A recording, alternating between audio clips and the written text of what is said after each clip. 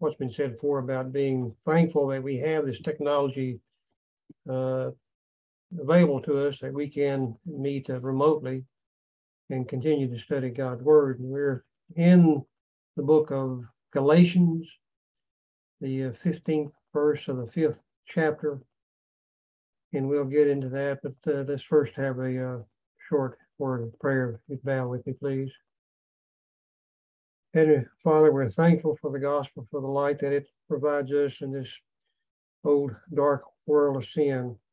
We pray, Father, that we may ever adhere to its precepts and statutes, that in doing so we may be blessed by uh, the blood of Jesus Christ, through whom we have the hope of salvation.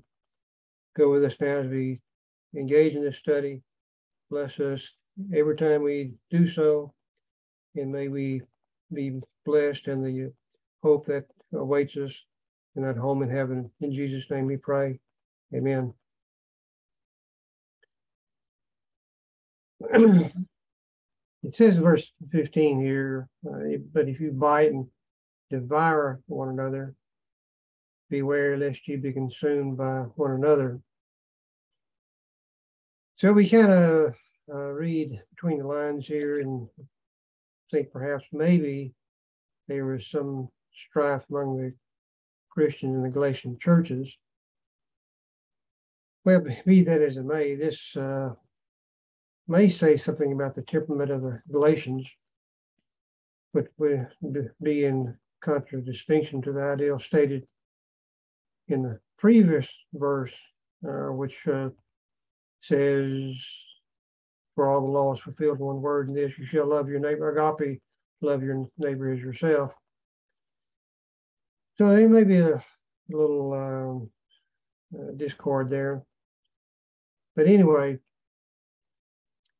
uh, the spirit implied here it was one of malice and hostility, not loving your neighbor as your as yourself. And looking at uh, some of the um, lexicons, you know, bite is used metaphorically. That means to thwart, vex, irritate, or, or to wound the soul, cut, lacerate, uh, rend with uh, reproaches. Kind of get the idea there. Now, devour means to, as we would think of it, to eat, swallow, or devour.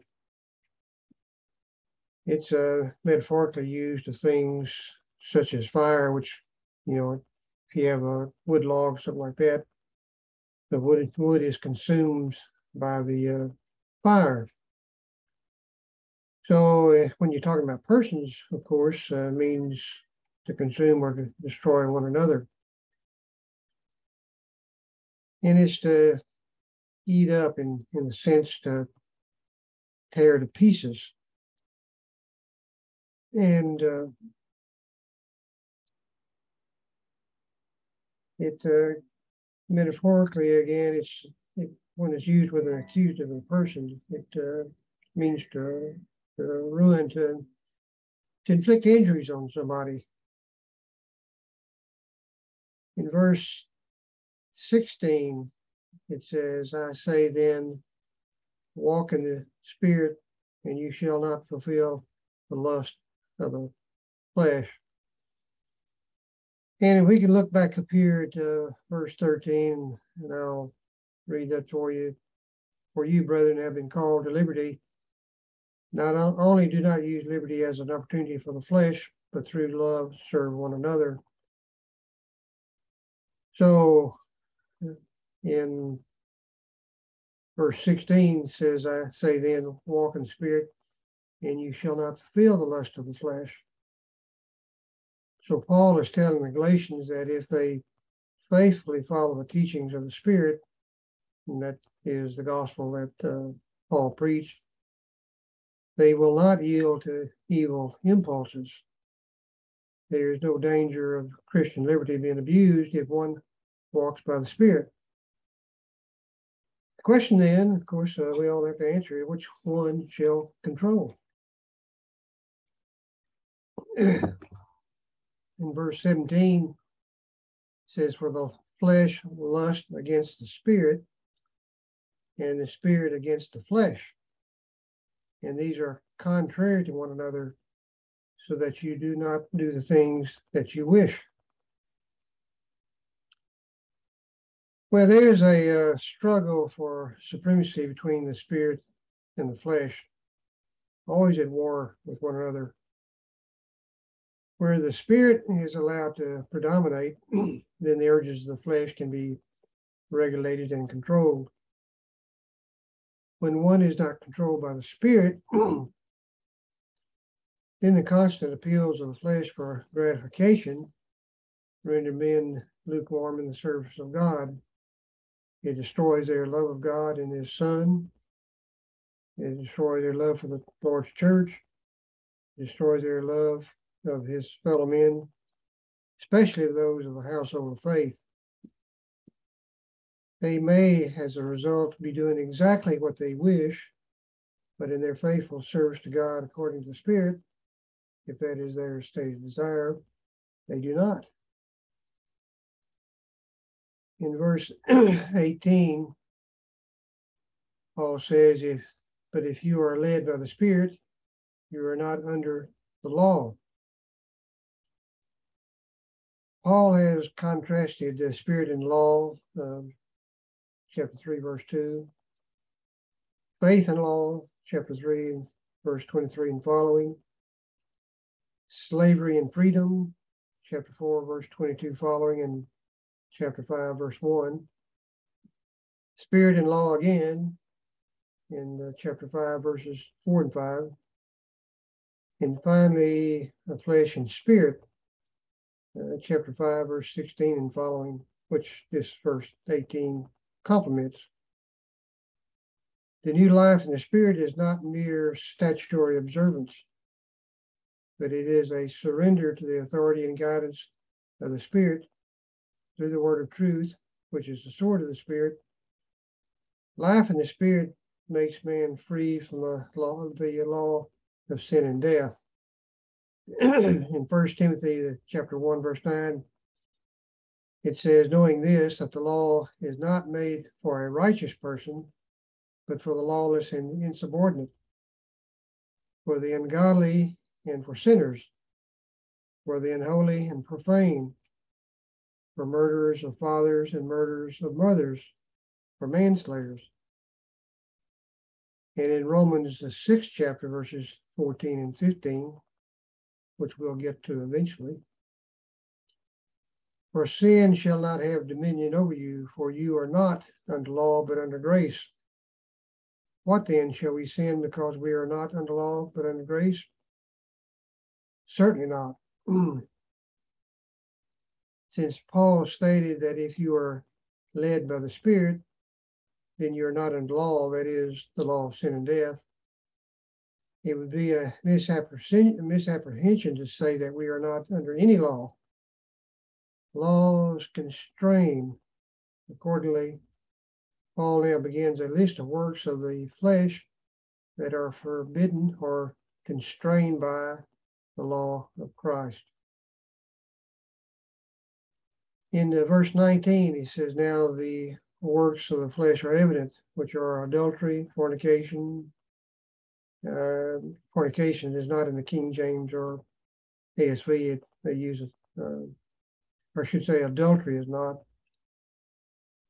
And that's the Greek word uh, porneia, which includes both adultery and fornication.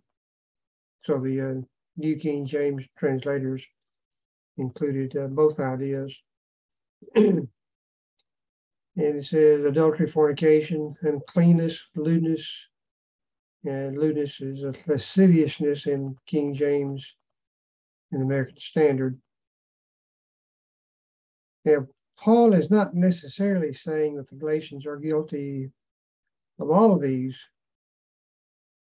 but he is saying that these works are obviously works of the flesh he says in verse 21, we'll get to that, that he has warned them before. So this is not the first time he's warned them about this. Although the Jews were at times guilty of these vices, uh, these were much more common among the pagan Gentiles. There's no doubt that these vices harm society.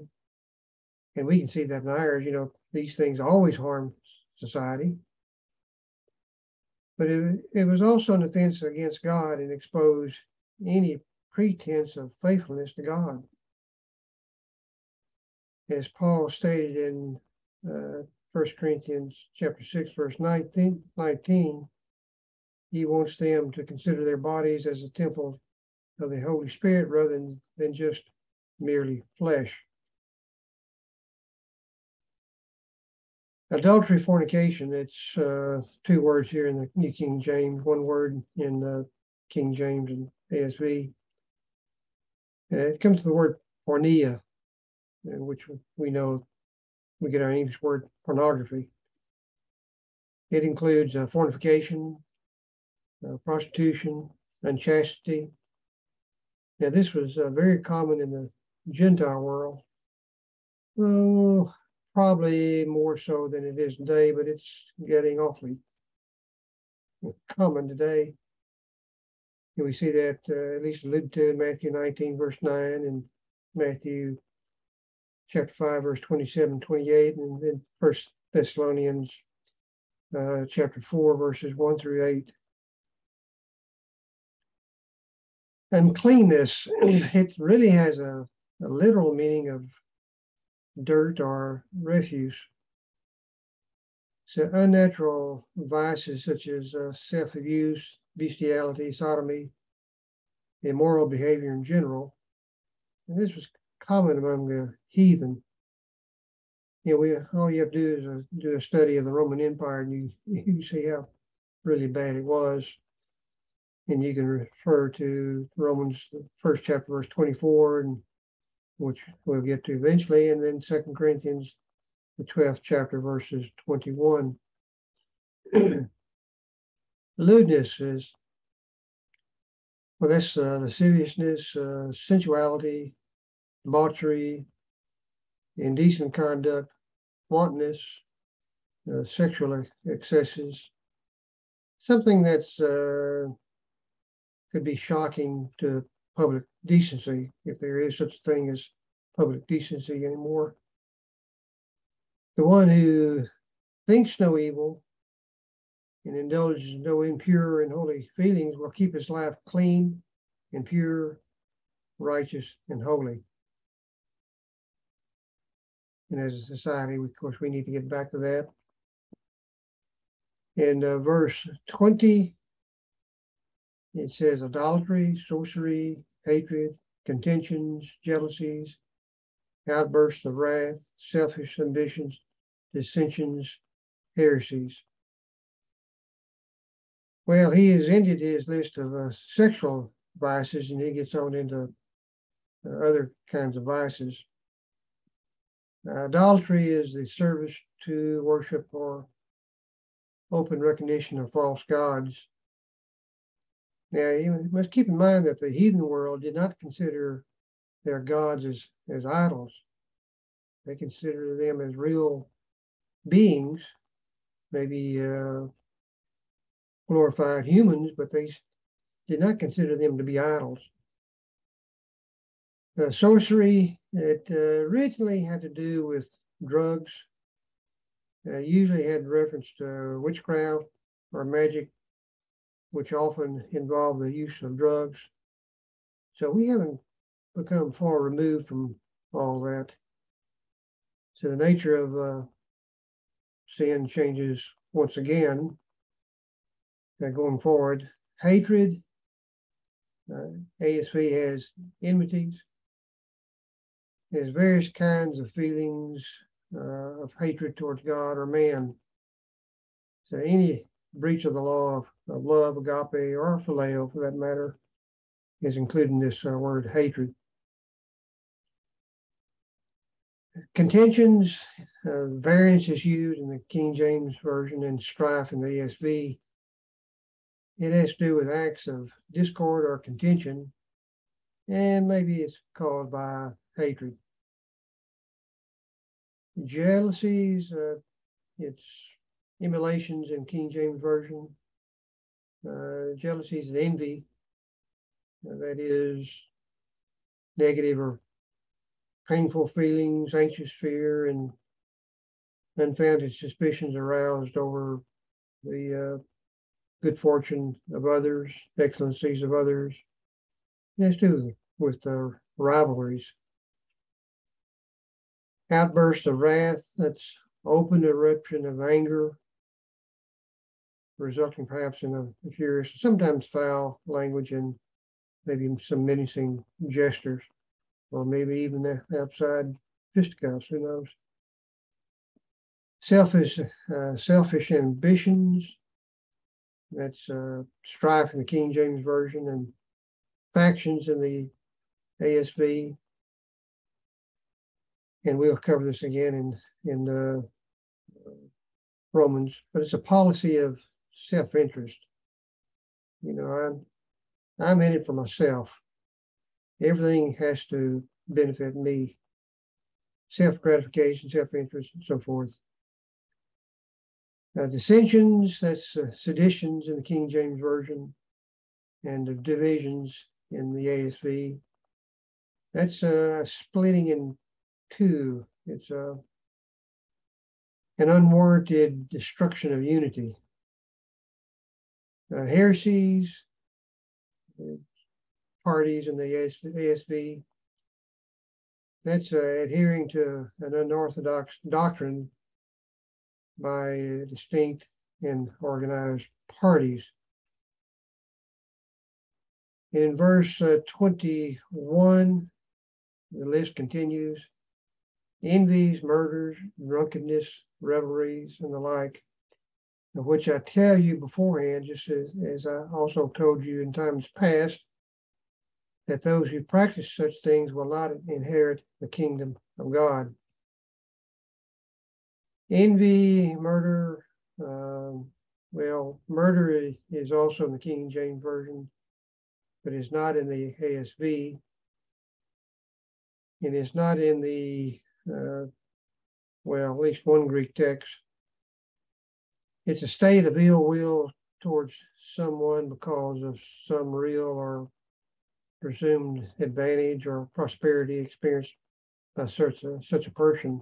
person it's uh, you know, when you see somebody that is doing quite well and you're not, you may be envious of their situation rather than be thankful that they're doing so well. Drunkenness is the practice of seeking pleasure and intoxication, whatever causes the intoxication. It may be alcohol, it may be drugs, and so forth. And I must point out that intoxication. Toxicant is something that's poisonous. To intoxicate is to begin that process. And it has to be a beginning of the process, or intoxication would never occur. So we always talk about uh, what what does it mean to be drunk? Well, drunkenness begins by taking that first drink, or whatever the intoxicant may be, whether it's uh, drugs, illegal drugs, and what have you begins with that first one. So uh, to prevent it, you have to avoid it. First one.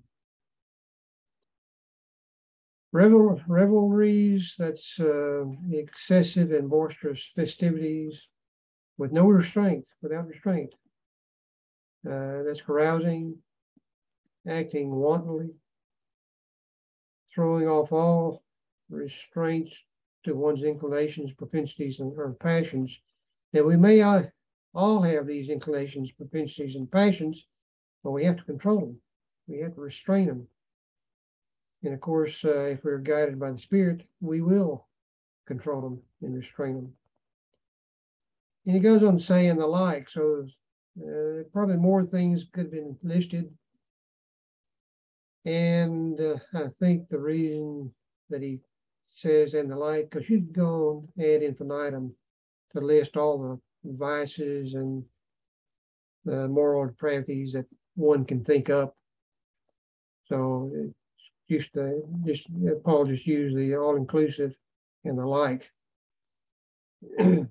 Paul told them uh, what he had told them at some time, some past time. We don't know exactly when that was, but he said, uh, Those who practice these things will not inherit the kingdom of God. Now, practice carries with it the idea of a uh, uh, performing something repeatedly and habitually. It's not just an occasional lapse of, of uh, discretion or what have you. It means it becomes a habit. You can do it all the time. And it doesn't mean that one has to do all of these things to not inherit the kingdom of God, but it's to practice any one of them uh, repeatedly and habitually. but he says the fruit of the Spirit, and he's doing this in opposition to the uh, works of the flesh. But the fruit of the Spirit is love, joy, peace, long suffering, kindness, goodness, faithfulness. Now, you might notice that the fruit of the Spirit is singular as opposed to the plural works of the flesh. And perhaps it's because all these virtues, all the things that are listed, are to be taken together as a unit. A person may have one of these virtues, but uh, having the Spirit will produce them all in the person ruled by the Spirit. So even those who engage in the works of the flesh can have one of these attributes that's the that someone that has the fruit of the Spirit has.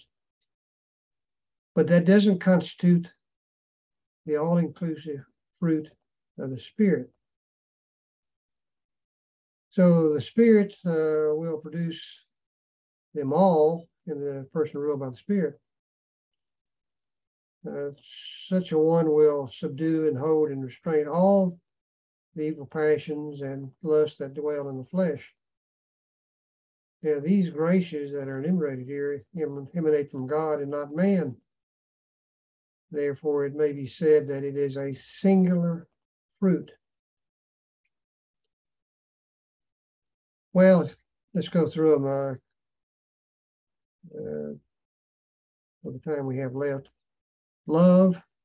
Now, this particular love here is the agape love. It says first uh, love of God and then love of man as God's creation. It is the uh, fundamental expression of that spiritual bond between God and man and between man and man and Christ. Joy is that uh, spiritual gladness or, or delight because of one's relationship to God. Christian joy is inseparable from agape love and is not dependent on outward circumstances. Joy and grace come from the same Greek root, charis. Jesus, uh, for the joy set before him, endured the cross, Hebrews uh, 12, verse 2. And that certainly wasn't a pleasant thing. And in First Thessalonians, the uh, first chapter, verse six, and you became followers of us and of the Lord, having received the word in much affliction with joy of the Holy Spirit. The joy is not always a, a pleasurable thing. Uh, so we shouldn't think of it that way, though in, in you know certain pleasurable things may be joyful in verse 23, he uh, Paul writes uh, gentleness, and that's uh, meekness in King James Version and ASV. Self control, it's uh, temperance in the King James Version. Against such there is no law. In the gentleness in the King James Version, ASV, the word is translated meekness, and I think I think uh, I like that better. I think it's a better translation. But in present day English use, uh, neither word accurately conveys the meanings, the meaning to the Galatians. Meekness is not readily expressed in English since the term meekness in present day English uh, usage suggests weakness, and it is certainly not. Rather, it is a condition of mind and heart, but not in a man's outward behavior only, nor in its relationship relations to his fellow man or his mere natural disposition. It is a balance born in strength of character. It is an inwrought uh, grace of the soul, and expressions of it are primarily towards God. And uh, when I look at uh, James uh, 1, first, uh, first chapter, verse 21, third chapter, verse 13, and First Peter chapter 3, verse 15, and in the Septuagint, the Psalms 45th chapter, verse 4. It is that attitude of spirit that we accept God's dealings with us as good and do not dispute or resist. It is a firm and unyielding devotion to right as the Bible defines right. According to Aristotle, it is the middle middle standing between two extremes. Getting angry without reason or not getting angry at all. Those, those are the two extremes. Therefore, it is getting angry at the right time, in the right measure, and for the right reason. Self control, that's the uh, control of the whole range of passions and desires or the guarding against personal excesses, the, the result of which will promote the highest activity of all the faculties of body, mind, and heart to the glory of God. There is no law, secular or spiritual, that precludes one from possessing and exercising these graces. In fact, these graces stem from the fulfillment of the law in one word love as set forth in verse 14. And those, in verse 24, and those who are Christ have crucified the flesh with its passions and desires. Those who belong to Christ do not belong to Moses. In Romans, the sixth chapter, verse 6, it says, Knowing this, that our old man was crucified with him that the body of sin may, may be done away with, that we should no longer be slaves of sin. And of course, in Galatians, second chapter, verse 20, says, I have been crucified with Christ. It is no longer I who live, but Christ lives in me.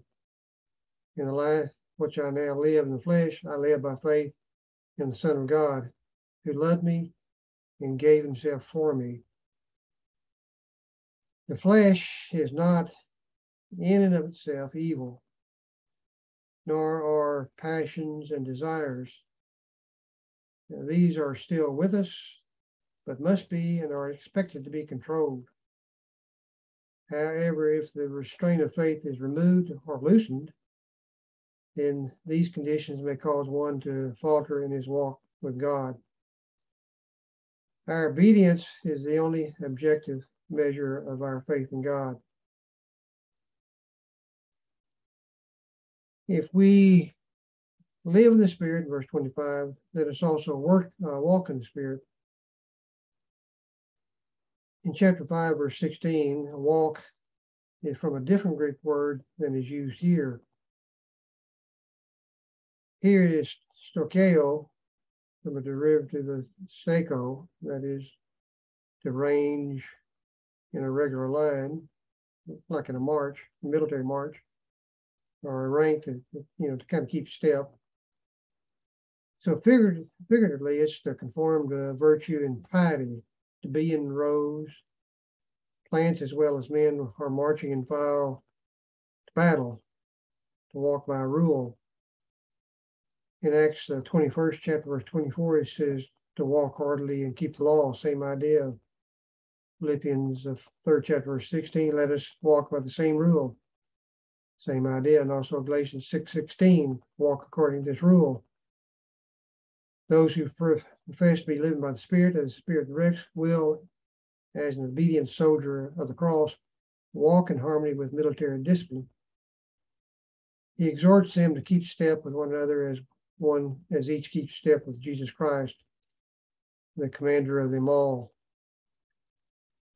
In verse uh, chapter 5, verse 16, it is from the Greek word peripateo, auto. You can go look it up yourself. That's to tread all around. That is to walk at large, uh, especially as a proof of ability.